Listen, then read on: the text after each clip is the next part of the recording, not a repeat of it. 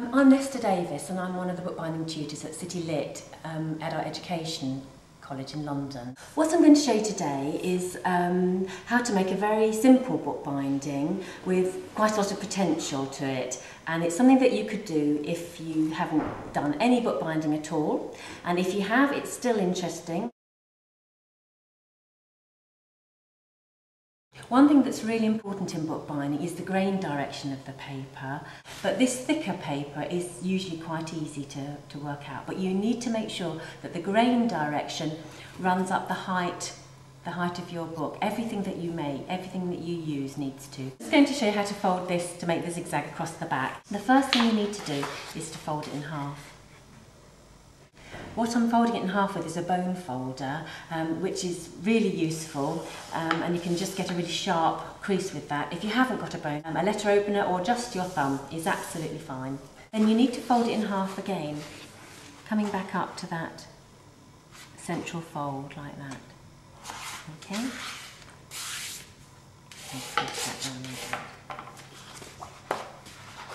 And then in half again, the other side.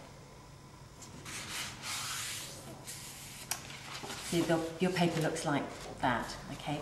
These two pieces are the bits that are going to be put down on the inside of the board here, there and there.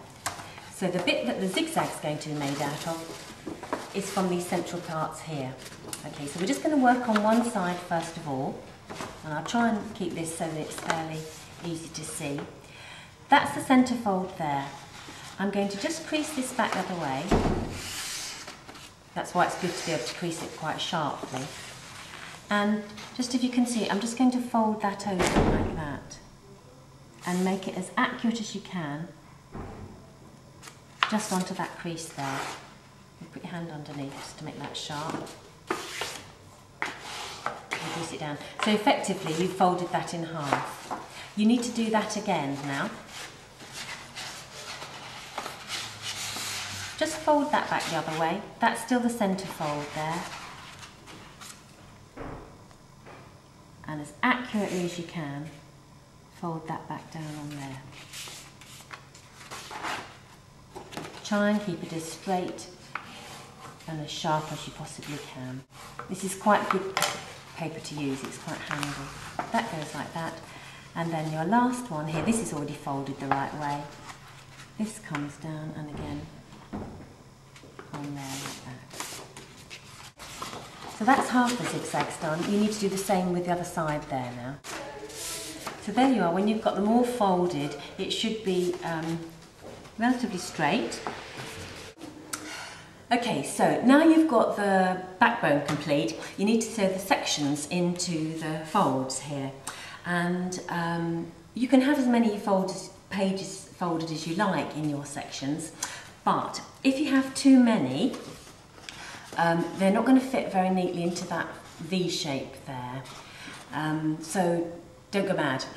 Um, I've got th um, three and two here. These are some pictures of my sons that he's drawn for me. And don't just sew through one because you'll find it will rip. So make sure you've got at least two pages here.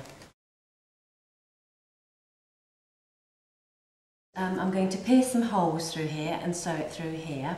And I've got um, a sort of a template here, which is another sheet of A4 paper, which I've got in a different colour just to show you. And I'm going to mark on here where the holes should go. Firstly, one in the middle. So it'll be about 105 there in the middle.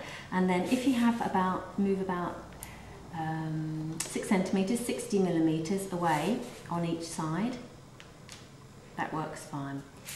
And I'm going to put this into the first section, like that, there. And I'm using an awl to make holes, but you could just as easily use the needle that you're going to use. So I'm just going to pierce that. Don't make the hole too big if you've got one of these thick awls. Thick awls. So once the needle's threaded, um, you need to, you're going to sew through these three holes here. You go through from the outside. I've reclipped the section there just to help me. Through from the outside, leave enough for you to tie a knot. and then go into one of the other holes. It doesn't matter which hole you go into. Then go right up to the other one, not back through the middle, but right up to the other hole there, and back down through. Just pull that through, out through there, and then back down through the middle hole. Be very careful that you don't split the thread as you come through. So make sure that you can move the other one. You come through like that. There we go. And the important thing is to come through so that the centre thread runs across the other two so that these are like either side of the centre one. And take that out of the way. Pull that tight and then tie a knot once twice across the centre. If you want to make it into a bow, of course you can, but make sure it's knotted first. So once that first section is in, you carry on with the other two. Okay, so that's that. Um, we can put that aside for a minute, and the next thing you need to do is cover the boards. Here the two pieces of uh, paper that we're going to cover the boards with. Remember that the grain runs that way on them. So the best thing to do is to keep it um, as damp free as possible if you possibly can and uh, just get the thing to stick. So what we're going to do is um, just put a little bit of PVA on the board like that in the middle just to help hold it.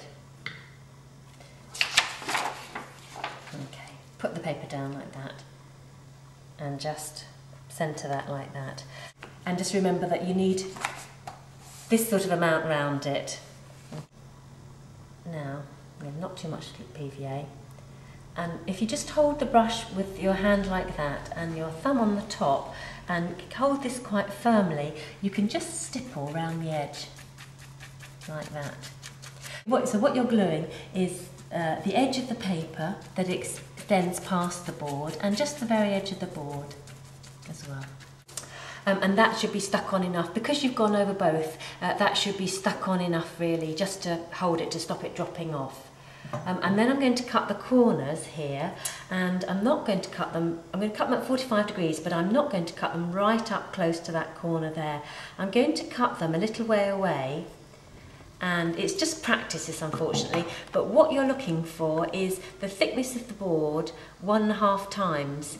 So I'm going to say this is about 1 1.5 board. I'm going to cut them that far away. And then just holding it over edge of the table. Do the top and bottom first. Just um, hold it up with your hand there and just with your thumb just push it over and make sure the air bubbles out. Make sure there's no air bubbles along here. If you're using very fine or very thick paper, you're going to have to adjust your pushing accordingly. Try not to stretch the thin paper and try and you need to be quite firm with thicker paper so that it creases neatly.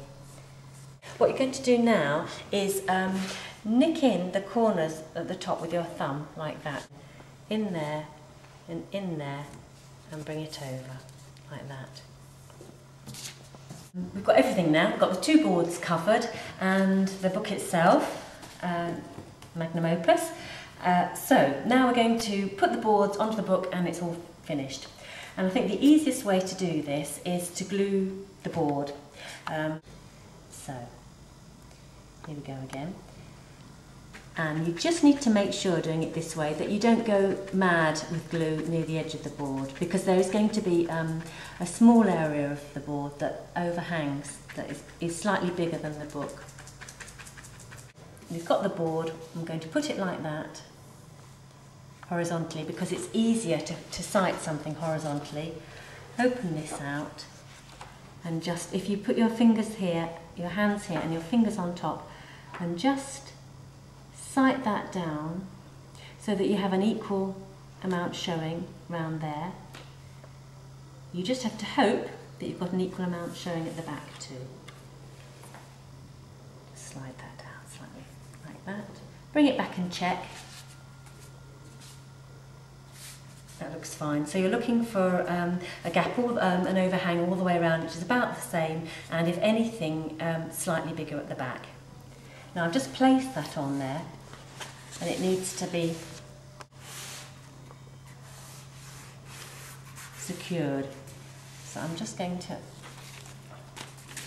rub that down with the bone folder and I'm just going to do that through some scrap paper so that you don't get the sort of slightly greasy, waxy mark you get from rubbing something directly with the paper.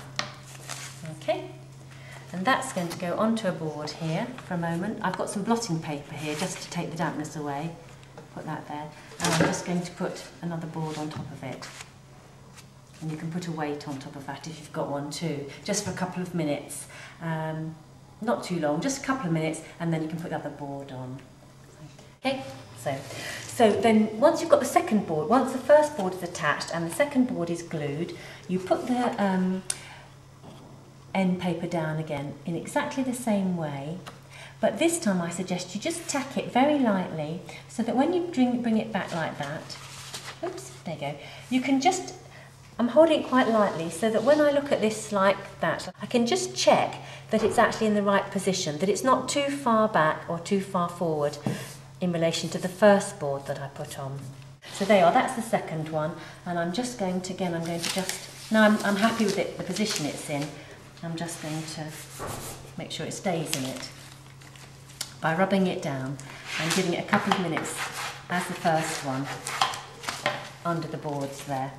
And actually, once you've got that on, it's a good idea to dry them out